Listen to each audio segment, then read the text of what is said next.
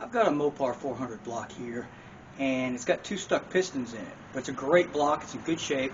I just need the block. So I'm going to take y'all on a journey on how to get stuck pistons out to save your block.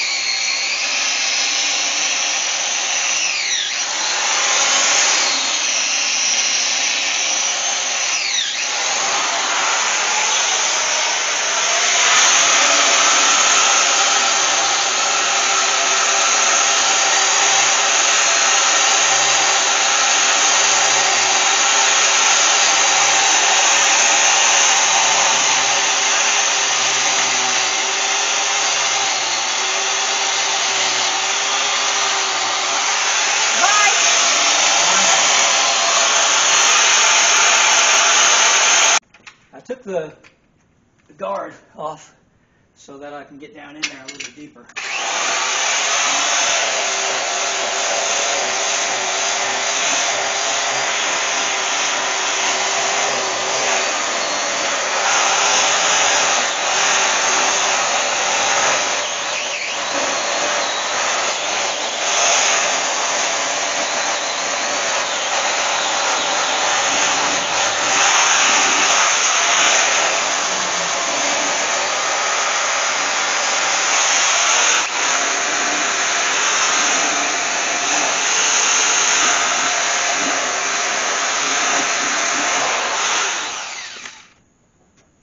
What this is, is uh, it's a bucket of automatic transmission fluid that I've used numerous times to unlock four speeds. And uh, I find it works better than penetrating oil. And so I'm going to pour some automatic transmission fluid in these cylinders to try to get it to seep down past in here. See if I can't get these loosened up without heat yet.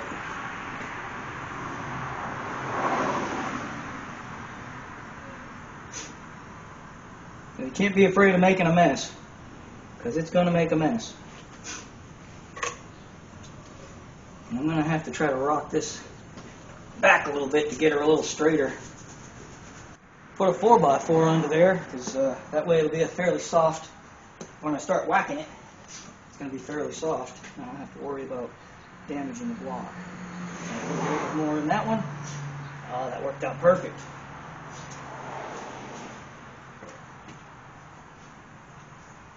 Now we'll let that sit for a few minutes and see if she can't seep down a little for us. Well, here it goes. I've got an old axle tube out of a truck in here. I've got it centered on the piston. I've made a mark on here so I can see if it moves or not. And I'm going to use the side of the, the hammer because it's a tube. So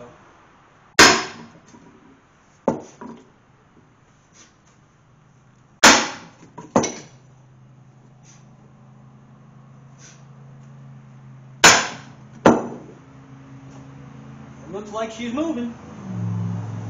I want to make sure I'm not at the bottom of the cylinder. I don't want to break nothing out of here.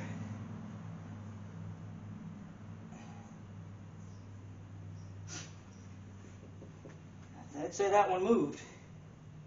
Okay, I've got her to move that way on that one. So we're going to move over to this one. We're going to do the same thing. And then we're going to try to push them out the other way. That's going to be the hard part. I'm going to hold this here so she don't rock. And I forgot to make me a little mark.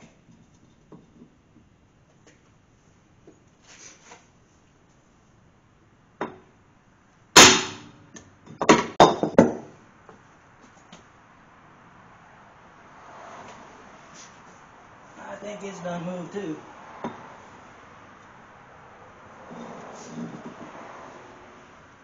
Let me give her another one.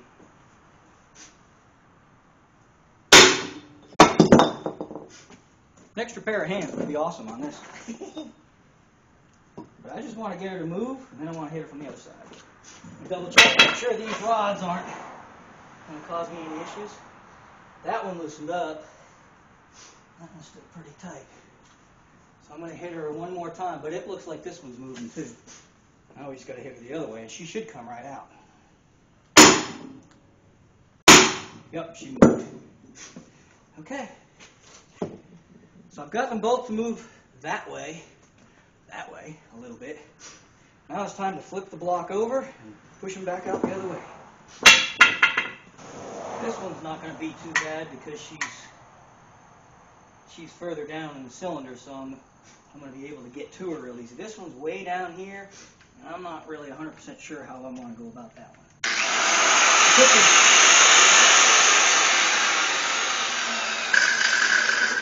Took the main caps off so I wouldn't damage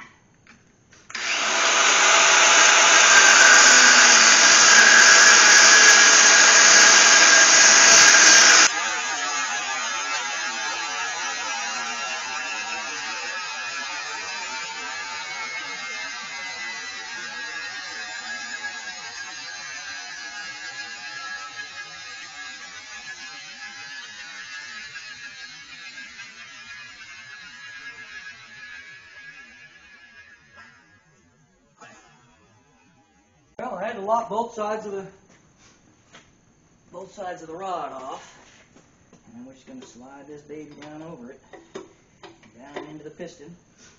Make sure she's not hitting anything that is going to be it's going to hurt the block at all. So we want to position it in a way that it can't hit. It's not hitting anything. Hitting anything over here. I think we're good like that, right?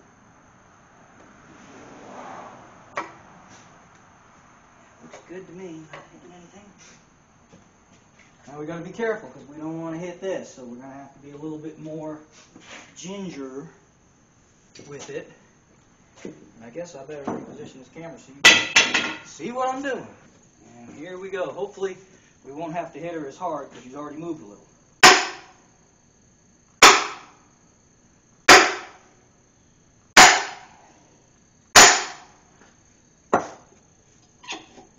Make sure we're not hitting anything here.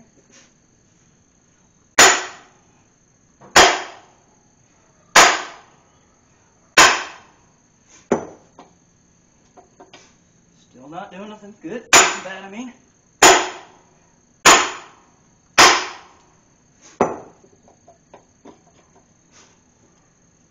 So far, so good. Getting kind of close to this block, though, so we're getting a little bit nervous.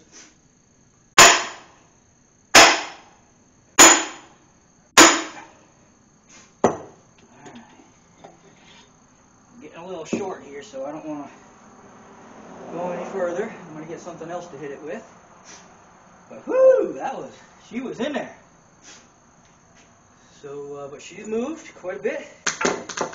And I'm going to have to get some kind of, something a little smaller and put down in there a little bit longer. Got a piece of round stock, and she's loose enough now but I'm just using the round stock to pound with.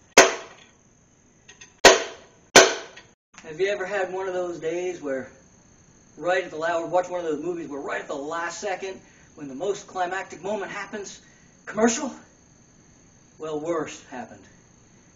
My camera shut off right as that piston was coming out. So I did get her out. Here she is. I was like, woohoo! Looked up and the camera was off. I was like, no! So we still got another one though, so I got the camera plugged in this time. Unless the power goes out, we should be good. Uh, I'm going to have to find a different way to cut through this rod. And uh, I might try it with the rod and a piece of wood just so we don't damage the block. But we got this one out without incident, and we're going to go for the other one now. Well, I don't know if it's going to be big enough. I've got a two and a half pound sledge. I've got a bigger one if I need it. I'm going to try and do it with this.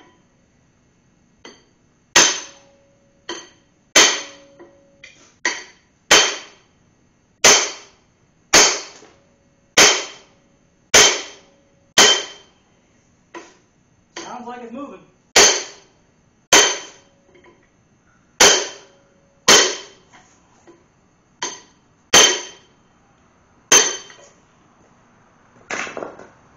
It's out of there.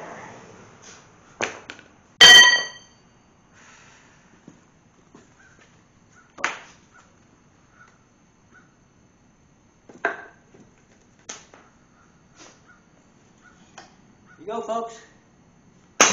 Two very, very stuck pistons. No longer stuck at all. Now this block can go on down the road. Get her fixed. Get her bored out. She's ready to go. Don't forget to subscribe. Many more like this to come. Appreciate y'all.